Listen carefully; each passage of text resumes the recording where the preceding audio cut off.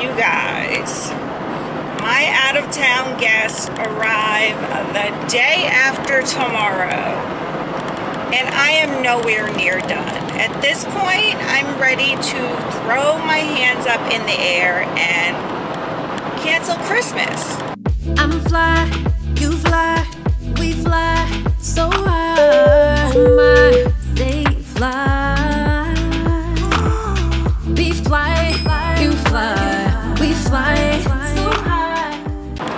Folks didn't have plane tickets, I would.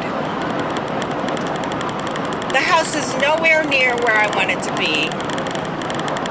The maids can't come until, well, they wanted to come tomorrow, but I've got too much to do all morning tomorrow.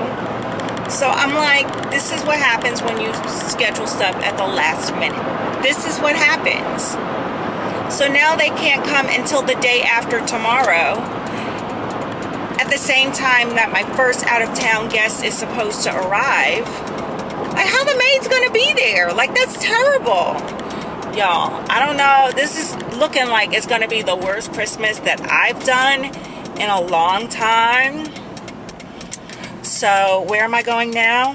To the gym, because I absolutely refuse to give up on that. I can't. I gotta keep something, right? But y'all i'm about to throw my hands up in the air and be done with all of it it's just gonna be what it is whatever it is is what it's gonna be and we'll see all right gotta run got an appointment at the gym all right i'm a little bit early but here's why i'm feeling like i'm ready to throw everything throw my hands up in the air and cancel everything because i don't like doing stuff at the last minute. Like the maid should not be at the house cleaning when folks are when folks are arriving. Like that should already be done. I'm okay i can i can finish my decorations today um but that should have been done a long long time ago. But i was flying like so much the last couple months yeah i can't be in two and three places at one time at the same time, I should say. Um, so I was flying so much. And then when I'm done flying, like I'm tired. Like I don't want to do it. I don't want to do it. I need at least 24 hours of doing nothing after I get off an airplane. More than that, it depends on how much I'm actually flying. I should be I should be baking today, baking my cookies today. Because that's something that I do every year. I still haven't made my coquito. Like, that should be in the refrigerator. Y'all. Y'all just don't know. This might be my last Christmas.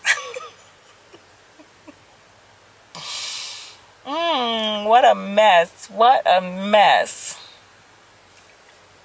Or I just need to hire like a handyman or somebody to come help me. There's a thought.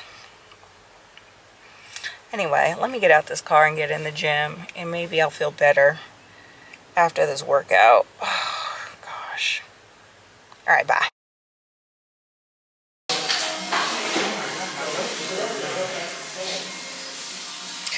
Don't know how I like my cut. Your cut? I don't know if I like it. The, the, the more low um, tapered No, I think she left. I like, I actually, I wish it was more tapered. More, oh, low? Yeah, I, I wish it was lower.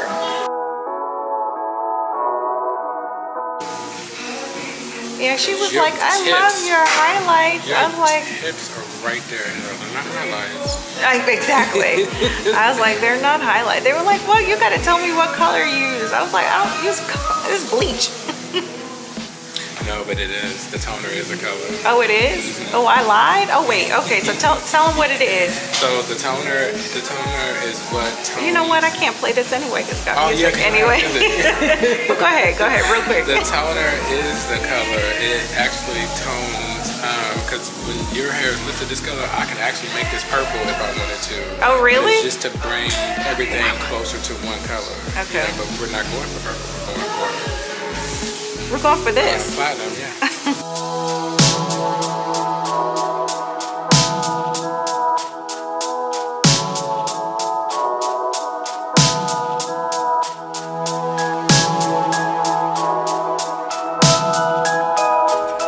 Okay, so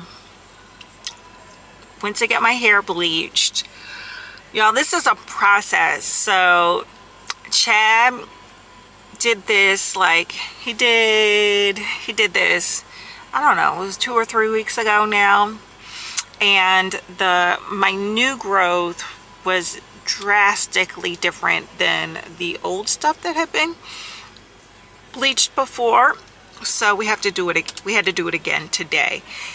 And one thing that I love about Chad is he's always gonna like look out for your for your the health of your hair first and foremost. So he's not gonna try to bleach it bleach it bleach it to get the color and then your hair starts falling out. Like I've been blonde now all summer and I have a very little shedding no more shedding than I normally would even if my hair wasn't bleached.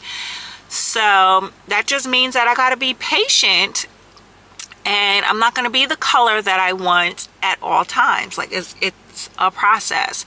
So we thought we were going to just do one more um process today but no looks like oh, that lighting is terrible. I'm in a parking garage because I'm getting my nails done now. But anyway um I'm gonna go back to Chad basically. So we thought we would just do one more processing and it's still it didn't really lift it too much um, too much more than what it was before.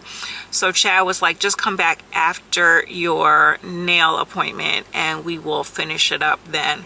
So yeah so this is what it's looking like right now. I love the tips like love the tips.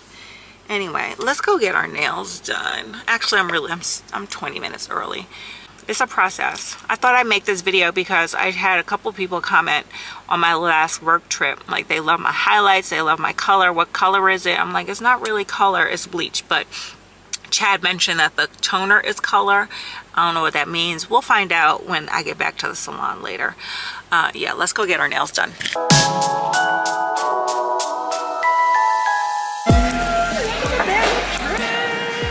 Why aren't you focusing?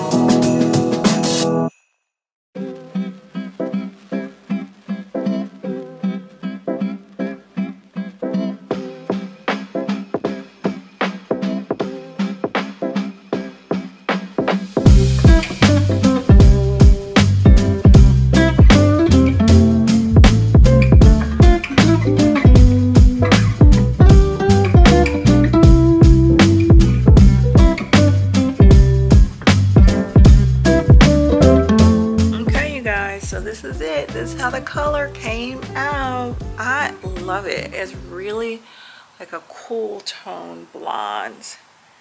But yo, it's a lot of work to get to this color. Like it's a lot of work. But I love it. Let me give you a closer look. Yeah, that's it.